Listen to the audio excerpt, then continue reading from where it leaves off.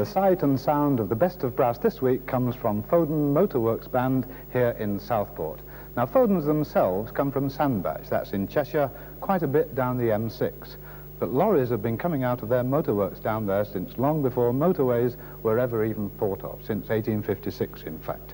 The sound of the famous band was first heard back in 1900. It was formed by Mr. Edwin Foden, his way of celebrating the relief of Mafeking. Since then, the band's won over £50,000 in prize money and a big reputation. And Fodens are one of three bands on the way to London to the Royal Albert Hall in October. And if Fodens manage to win the national championships, it'll be the 12th time for them. The other two bands from the Northwest going to London are CWS Manchester, they appeared in this hall just a few, few weeks ago, and Wingates Temperance Band, and they're based just 20 miles or so inland from here. Now, competition may well be the lifeblood of brass bands, but let's make one thing clear right from the start tonight. Fodens are here not to compete, but to entertain. That goes too for our other band, the Rochdale Metropolitan Youth Band, and for our soloist, the tuba soloist, John Fletcher. And that entertainment is going to come via Wagner, through Gordon Langford, and yes, from those Beatles in Merseyside. It's Wagner, though, who rules for a start, because James Scott is going to lead the Foden Motorworks Band straight into that famous introduction to Act 3 from Lohengrin.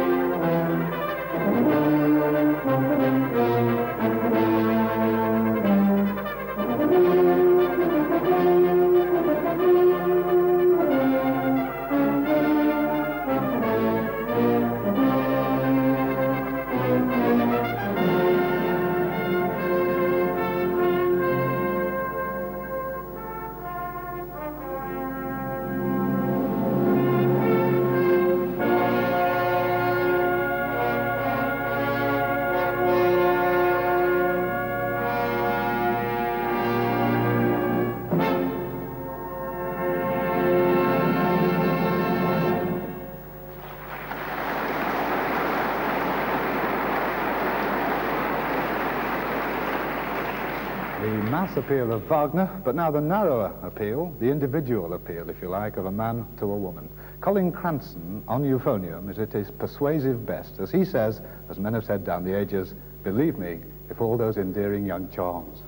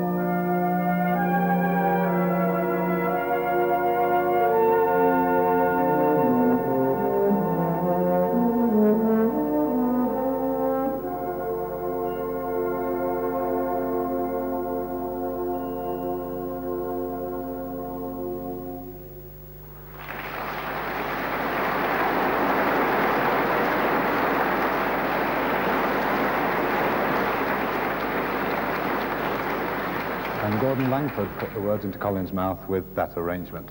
Now, we're too near to Liverpool to ignore it. Uh, Southport officially is now part of Merseyside, and the influence of the Beatles spread, of course, a great deal further than that. So we now make what's almost a compulsory tribute to their impact with a very special arrangement of Ob-La-Di, Ob-La-Da.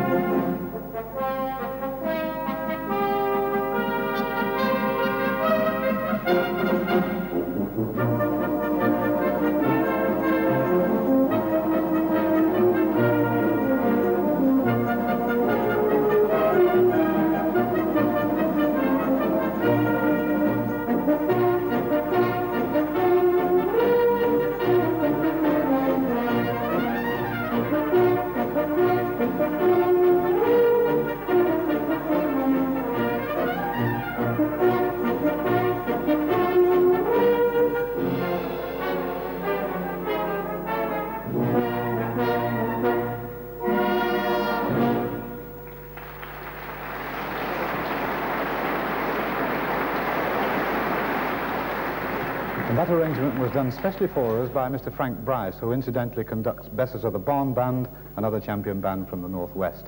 Now, though, to our soloist and the distinction of a first performance. It's a fairly rare thing we're about to see and hear because the four bass players of Foden's band are joined by the principal tuba of the London Symphony Orchestra, John Fletcher, for a piece written for solo tuba and band. Michael Brand wrote it, so listen for the first time to Tuba Tapestry. Thank you.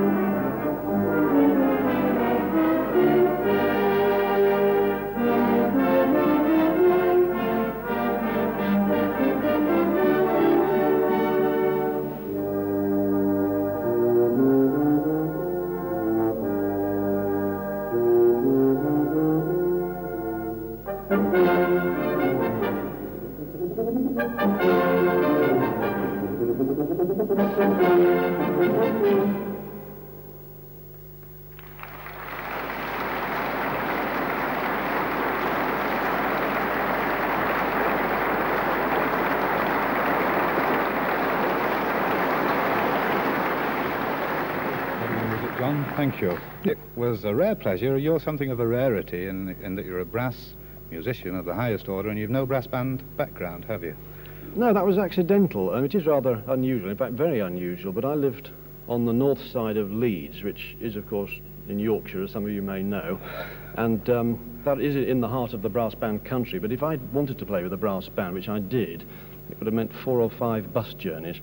And um, my father, in fact, ran an orchestra right on the doorstep, so I used to play the cello part and the bass part in his orchestra and didn't have to sort of travel anywhere.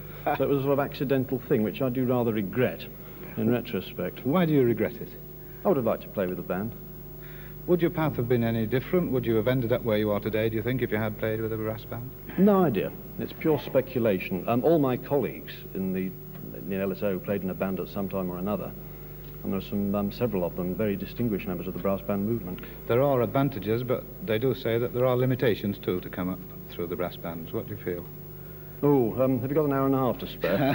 What's the main one then? Um, well, the possible limitations for my instrument are that if you're not in a brass band, there's nobody to tell you that that's the top note and the, and the bottom note, and you're not supposed to play faster than that or slower than that. Um, mm. That has been the case sometimes. You just find out for yourself, do you? Well, um, my father said we need a pedal something there, or a top W, and he, he used to have to get it because I didn't know any better.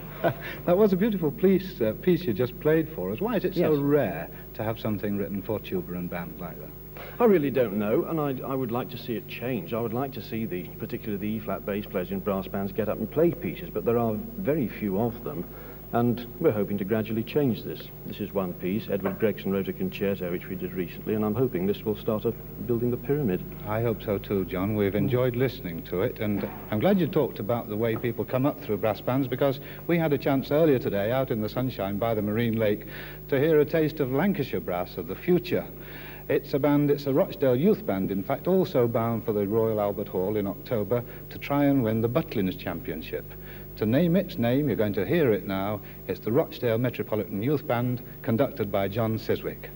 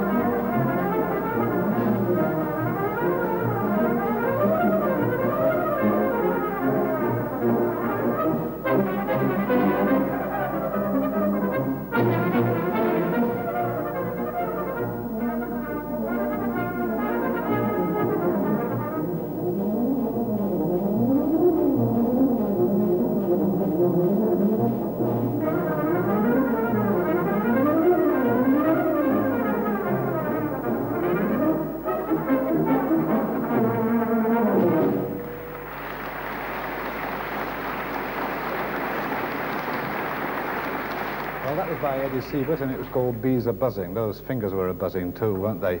Well, they can cool down soon because unfortunately that's nearly it for us. Now, I live up in the Pennines and looking down, we do, in the Pennines, on one side into Lancashire, on the other side into Yorkshire, so that I'll be back next week to introduce a programme from Yorkshire featuring the Yorkshire Imperial Metals Band, the Wakefield Schools Band, they're just back from America, and as soloist George Chisholm. For now, though, let's say good night to our soloist of today, John Fletcher, to the Rochdale uh, Metropolitan Youth Band, and of course to Foden's, who race away from us at the Gallop. And that's the name of a piece from Malcolm Arnold's Second Suite for Band.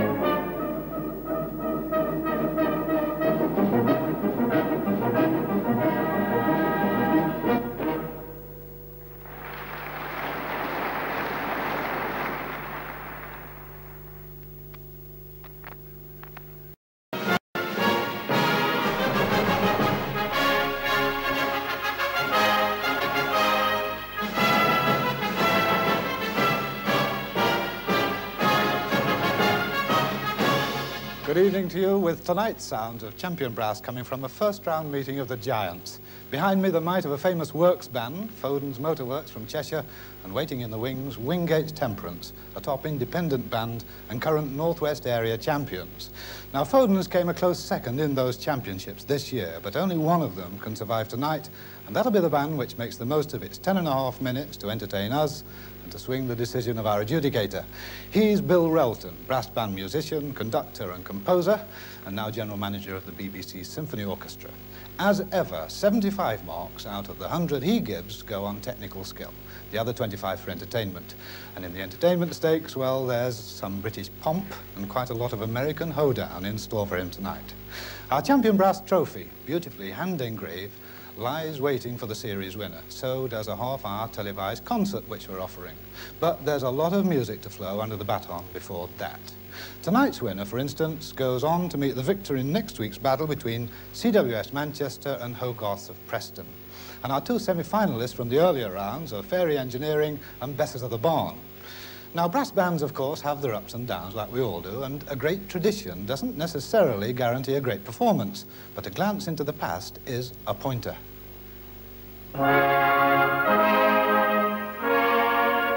Foden's Motorworks band celebrates its 75th anniversary this year as one of the biggest, most travelled names in the banding world. Early trips from the headquarters at Sandbach in Cheshire were made in a steam-powered band bus. Well, the firm did, after all, pioneer steam wagons on the roads in 1900.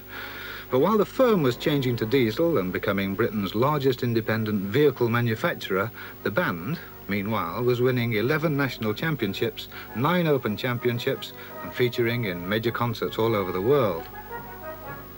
This year, under musical director James Scott, there's renewed vigour at Foden's, and four members of the band are current national quartet champions.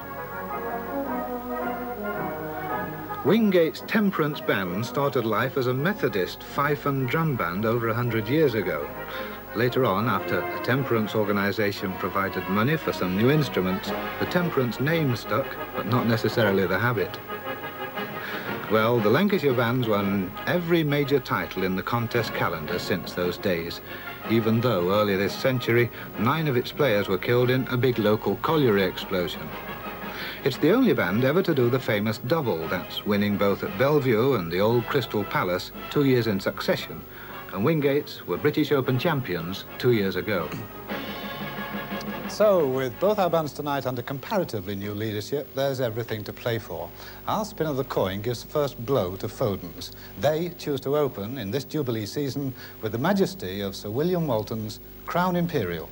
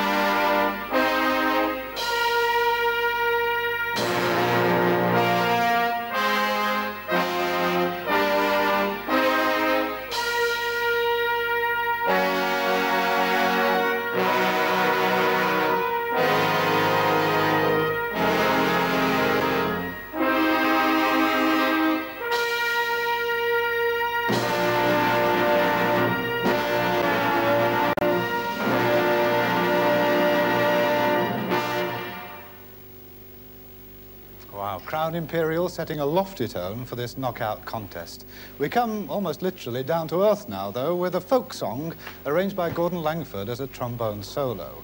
It features Norman Law, if he's ready, scrambling onto his rostrum at the back there, quite clearly, if he is ready, seeing the wood from the trees in The Ash Grove.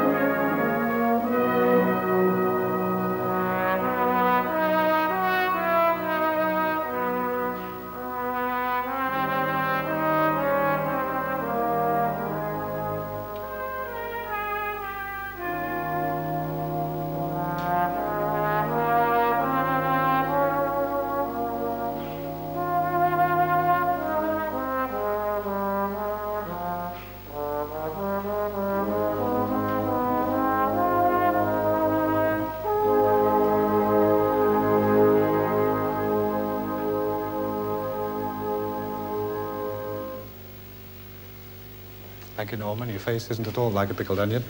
And from an ice grove with its roots well and truly in the English countryside, Foden's crossed the Atlantic for an American knees-up to finish. It's a folk festival for bands. It has Michael rowing the boat ashore down by the riverside, and it's gathered together and called Hootenanny.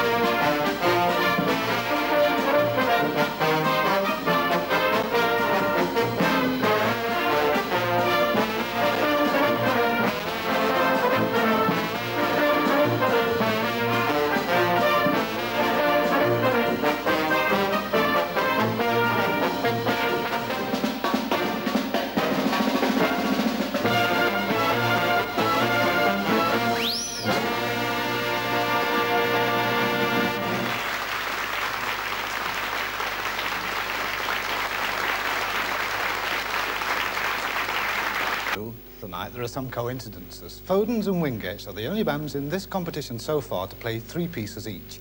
Both choose to finish with an American knees up or hoe down, whatever turns you on. And like Foden's, Wingates begin now with the big one. Musical director Malcolm Brownbill opens with a new arrangement of an orchestral classic, the finale of Tchaikovsky's Fourth Symphony.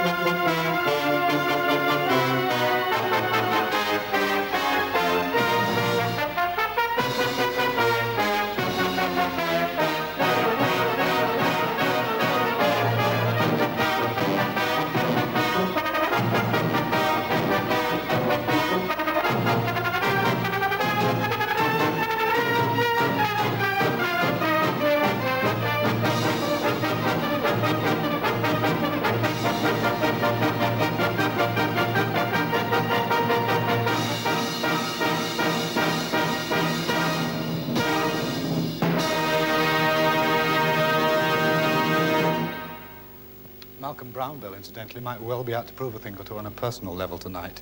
Some years ago, he used to play in Cammell Laird's band when it was conducted by, yes, Foden's musical director tonight, James Scott. Well, his next choice to that end is an original piece of brass band music by Malcolm Arnold. It's Siciliano.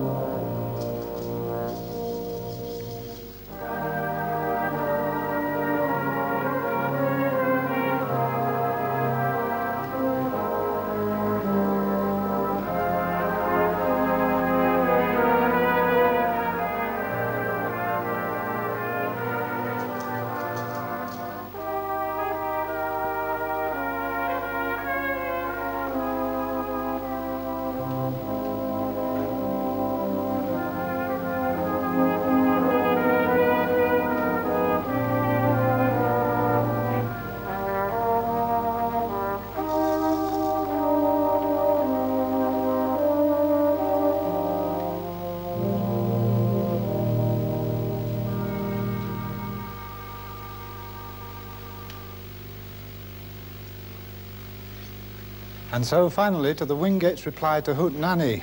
They paint a picture of a fictional little town in America which is supposed to be reminiscent of the good things in anybody's hometown. No, it's not Peyton Place, it's Cranberry Corners, USA.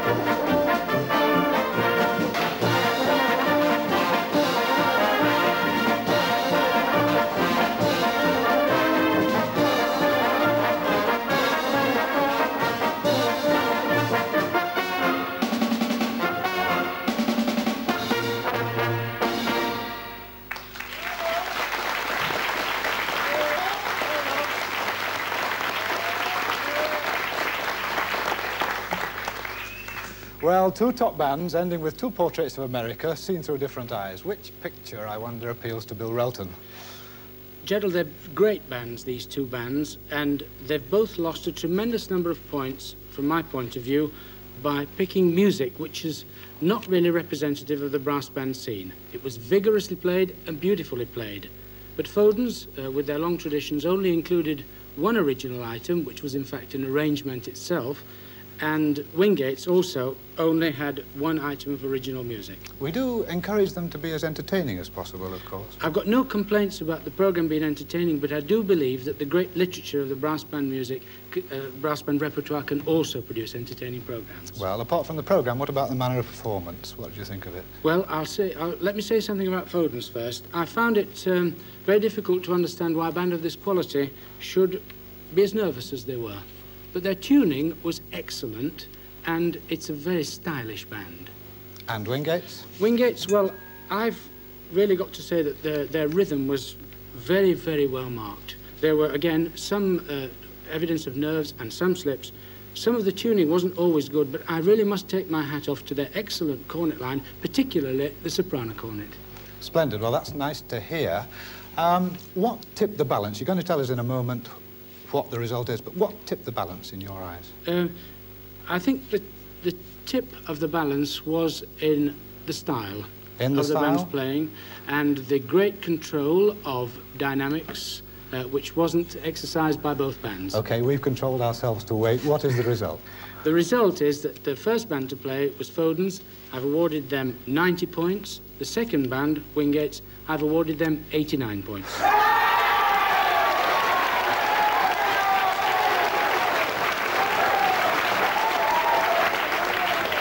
Well, thank you, Bill. One point in it, and with that one point, Foden's go through to wait for the winners between CWS Manchester and Hogarth of Preston. And until those two meet next week, good night.